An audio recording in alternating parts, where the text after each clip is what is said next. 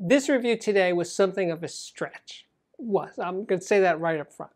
It's a review of the Gato PWR222 monoblock Class AB amplifier. That's what it is. It's a very high powered amp, 250 watts into 8 ohms, 450 into 4, and the first 15 watts are Class A watts. But anyway, it's a powerful amp. And the thing is, here's what I'm, here's my confusion, is that I don't really do reviews of high-powered amplifiers very often. I mean, I do, but it's not really my thing because most of the speakers that I enjoy tend to be high sensitivity speakers like Klipsch's or Zu or the Pure Audio Project. They don't need a lot of power. They sound great with 10 watts or 20 watts or sometimes even 2. So why would I review an amplifier that's this powerful? And the answer is, well, because of the way it sounds. Beyond its power output, its allures stretch beyond power to just the beauty of the sound itself. That's why I said yes. Well, actually, wait, there's also another part of this, is that on my schedule of things to do, of reviews to do, was the TAD CE1TX that I posted a review not long ago. That's a very low sensitivity speaker. It needs a lot of power to jump. So I thought, well, yeah, that was the other thing that pushed me to say yes for the 222. And another review, which I'm working on now, which we'll post in about a week, another very low sensitivity speaker, the Eminent Technology LFT8B, which is a planar magnetic design. I'm really excited about that review.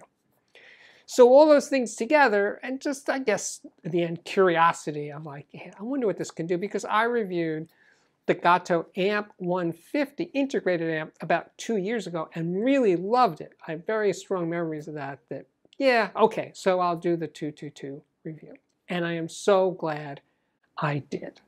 So the green, I gave him the green light. We're moving forward with this review. But the speakers that I had set up the day that I unpacked them were the Pure Audio Project Duet 15s. Again, very high sensitivity speaker. I thought, well, why not? Let's just do it. I hooked it up, and you know what? It sounded really good. It was making the Duet 15s do things they didn't normally do in terms of jump factor, aliveness, airiness, just spatial details and things were just so much clearer with this amp, with the 222, than the amps I normally use. I was like, yeah. So even with a high sensitivity speaker, this amp actually does make sense. Now I love, love, love the look of this amplifier. It's not a rectangular metal box. I've seen a lot of those over the years. This is all about the curves. Oh yeah, the curves. The curves are beautiful. Those rounded heat sinks on both sides of the chassis. Just stunning. Now up front, there's a round meter that's either a VU meter, give you some idea of how much power you're putting out, and also a temperature gauge because this puppy can run hot when you're playing it really loud and you can see how hot you're getting there. so anyway, that's all part of it. Now the top cover, everybody loves meters, right? Uh, the top cover is wood and it can either be painted uh, black or white or the paint color of your choice, like automotive paints, that's all available. And also, if you go the other way and you just want a wood cover because it's a softer, mellower look, you can get it in walnut or other wood finishes, all available on request. So that is really, really nice. Now, but let's take the cover off and look inside the amplifier. And as you're looking that over, you might think, something is missing, because it is. Usually high-powered amplifiers have a row or two rows of power transistors, of output transistors. And this one, the 222, has just two. Two very large, unusually large MOSFET power transistors. Two because one is for the positive wave, one is for the negative wave. And Gato claims that this creates their sound, which is clear, more transparent than most of the competition. Because most of the competitions, all those rows of transistors, even though they might be matched, they're never going to be exactly the same, right? All those 10 or 12 transistors are, all have slight differences between them, and those differences create, well, let's say a blurring or a softening of the signal. it's it's the high end stuff, you know, that we care about. That's the subtle details that are possibly lost when those uh, transistors, those output transistors, aren't 100% identical. But on the 222, they kind of are because it's just one for each wave. Anyway, that's the story. I'll link to the, the details of that description on the Gato website. Hey, let's take a look at the specifications. And while you're doing that, I'll tell you about the pricing. Now, Gato is a Danish company. Uh, they sell worldwide direct. They have no distributors, and the shipping is free. So they've cut out all the associated costs of distributors and dealers, and the shipping is free. And there is a 30-day home trial period. Now, the price of the PWR 222 is 4,395 euros each for the US customers. That converts to, today at least, $4,726 each. Also worth noting that uh, if you need to return the amplifier, you're not going to send it back to Denmark. It goes to a US site, and that site can also handle repairs, warranty repairs in the US. The warranty runs to five years. I want to start to tell you about my listening sessions with the 222 match with the TAD CE1TX. And the music was this album, this very special album by King Sunny Adé. It was recorded in 1987. Now here's where it gets interesting. It was recorded live to two track it's huge ensemble. There might have been 20 people on stage, lots of percussion, electric guitars, bass, drums, all this stuff's going on, live to two track. And the microphone that's listed in the notes here, the technical notes for this album, was a sound field mic, meaning one stereo microphone. That's what it says. So that might have been the only microphone used. I don't know. But anyway, it's live to two track. The energy coming out of the speakers was amazing because it's it's very ambient sounding. They just spread out. The sound escapes. That's the word. The sound escapes from the speaker, and all of the details of the dynamics of all these players, the percussionists, the drums, the guitars, the vocals, is extraordinary. And the 222 and the CE1TX were letting it through. It, in other words, it didn't seem to be holding anything back. And yes, I played it loud because I had that power and I wanted to just sample it for a little bit, for a few minutes at a time, I was playing it in the high 90 dB range just to feel all that energy. So yeah, and by the way, if you're nervous about my neighbors, and I do this at 2 or 3 o'clock in the afternoon, they're probably not even home. And if they are and it bugs them, they tell me so. And this almost never happens that my neighbors are upset by my music playing, for you people that worry about that. So anyway, I said, yeah, I'm starting to feel it. I'm starting to feel that maybe I do like power. I like, anyway, I'm kidding around. But anyway, this combination really set the standard. Up to this point, and through a lot of the listening sessions, I was using the linear tube audio preamplifier, but that doesn't have a balanced output. So I decided to switch over to the Pass Labs XP30 and run the Mola Mola Tambaqui DAC, which has a balanced output, and hear it in a more balanced configuration, put it that way. And the sound was, in fact, yes, more neutral. It just felt there was no added warmth, but it certainly wasn't cool. It was pretty much straight down the middle. Again, the dynamics, that life, that's those spaces between the instruments, really, really impressive with the 222 TAD CE1TX combination. You could just hear into the recordings. I'm playing some chess, at this point I was playing some Cheskys, just popping them in and out of the CD player, the Jay's Audio CD2 CD transport, and just going through them and just listening into the music. And that was really extraordinary.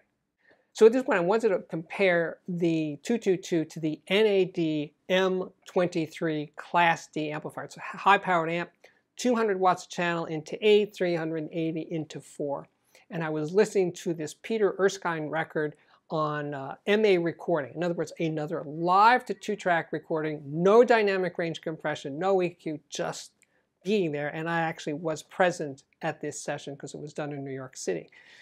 And it just came, another one, it just came out of the speakers and I could almost, you know, sort of see the sound, but all the shading and dynamics that Peter was doing on the drums was just like it's right there. It's right there coming out of the TAD speakers with the 222. Now, when I switch over to the M23, the tonal balance changed to be warmer, fuller, rounder, but not as uh, 3D, not as, dimension, not as dimensional. It just kind of flattened out a bit, not 100%. But returning back to the 222, that just sound that I could hear around the instruments, that kind of sound staging was absolutely extraordinary because it's in the recording. It's just getting to hear it. That's the tricky part. And it takes good stuff to get there. As I was doing these comparisons, I also want to do the same thing, but switch over to the Pure Audio Project Duet 15s, these open baffle speakers, which always have a bigger soundstage than a box speaker does. Bigger, deeper, wider, higher. Everything got bigger. The Pure Audio projects can sound a bit soft, as I've heard them mostly, but here with the 222, they just lit up more. There was more life, more that tactile quality coming out with the 222 driving the Pure Audio project. And returning to the NAD M23, that was taken down a few notches. Now I have to point out that the NAD is a lot less expensive. It's like mm, less than half the price of the 222. The next comparison was one I thought, does this make any sense? Well, I did it anyway. I compared the 222 with the Decware Sarah 300B amplifier, which is 7 watts a channel. But these are very high sensitivity speakers. And I'm playing this Elton John album, which I think of as his first, but it's not really his first album. But anyway, a great, great music, but not a great recording or great mix. The piano is boxy sounding, the strings are too bright. It's just kind of a closed in, not a terribly enjoyable mix. Music is great. So anyway, I'm playing it over the 222 and say, yeah, that's the way this record sounds. It's not, it's not the amplifier's fault, but that's what's going down. But then I switched over to the Sarah 300B amplifier, played it at the same level. Everything got better. The piano was less annoying. The strings were certainly less bright. It was just more musical sounding with the Sarah amplifier. It just was. So sometimes it's one of those too much information that the is that it's not that the 222 was doing anything wrong. It was just telling me the truth about the recording and the Decware, which isn't a particularly soft sounding amplifier, uh, was just making it go down a lot easier and just made the whole experience a lot more enjoyable with tubes in the system. So at this point, I swapped out the Pure Audio Project speakers for the Eminent Technology LFT8Bs.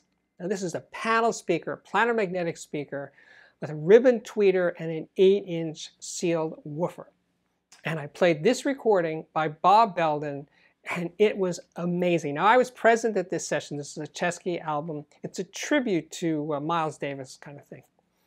And first of all, it, the session itself was goosebump territory in a silent way. And I'm like, there. Oh, it was incredible. And just the drums on this recording were so, uh, you, you could touch them. It was one of those, you can touch them. And the sense of space, this was recorded in a church in Brooklyn. Uh, phenomenal, phenomenal recording. And I was getting so much air and clarity and that sense of being in the room with the band, with the 222. And when I switched over to the pass, a lot of that airiness, that clarity was gone. Now remember, this has nothing to do with being bright. Bright is more like at 2 or 3 or 4K. That's where bright lives. When you're talking about really high frequencies over 10K, that's a different story. And that's what was going on here is I could just hear more of that airiness, that spaciousness coming out of the Eminent Technology speakers with the 222. And its control over that 8-inch woofer the there's an acoustic bass on the record, the shading of the bass, the you know, it was a large wooden instrument. You just had more of that clarity down there with the 222 than the Pass XA25. Anyway, I'm really excited about doing the review of the Eminent Technology. It's coming up in about a week from now. Well, let's do this thing called, so Steve, what do you really think of the Gato PWR222 monoblock amplifier? Well, it had me reconsidering my stance vis-a-vis high-powered amplifiers. Because I, as I said earlier, I shy away from them because I don't, you know, I don't really need it because I'm using high sensitivity speakers. But even when I played this one with the Pure Audio Projects, I was knocked out. It transformed the sound of that speaker for the better. I just love that combination. So that that wasn't what I was expecting. And when I used it with the low sensitivity speakers, the Eminent Technology and the TAD, yeah, again, it's the clarity, that precision of this amplifier, the neutrality of this amplifier are extraordinary. And I also just love the way it looks. The curves, the wood, the heat sinks, it's an amazing package. It's not very big, by the way, so it doesn't take up a lot of space except that there's two of them. Which reminds me, you know, it is an expensive amplifier, nearly $10,000 for the pair. But here's the good news. The, the Gato uh, Amp 150 that I reviewed a few years ago, it's the same size, same shape, and it is half the price. So if you can't quite swing for the uh, for the 222s, you might you might be interested in checking out the Amp 150. So en enough said. That's that's what I'm saying here. So yeah, I think the 222 is extraordinary, and I'm so glad I agreed to do this review. And speaking of glad, yeah, now it's time for, you know it, you love it, the Audiophiliac Viewer System of the Day. Rich sent in this picture of his system, which features two, not one, but two vintage Yamaha components, a CT-A10 tuner and a CA-A10 integrated amplifier. Music streaming is handled through a Bluesound node and vinyl on a Music Hall 9.3 turntable with a Goldring Eroica LX low output moving coil cartridge. The phono preamp is a Vincent 701 with a Telefunken tube. The speakers are KEF R3 Metas and they are sitting upon handmade mahogany stands by Audio Chic in England. The subwoofer duties are handled by an SVS Micro 3000.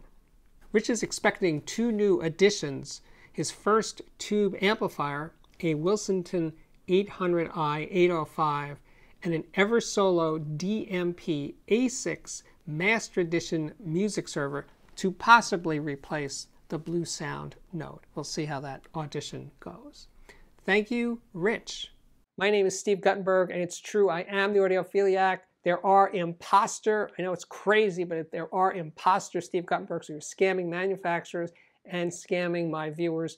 I don't ask for money from you guys, except when I'm pitching my Patreon, which I'm doing right now, and you can check it out. The address is on the screen right now to help support this channel. It's coming up on six years old and possibly even 250,000 subscribers by the end of this year. So anyway, if you want to help help along, contribute, please check out that site for Patreon.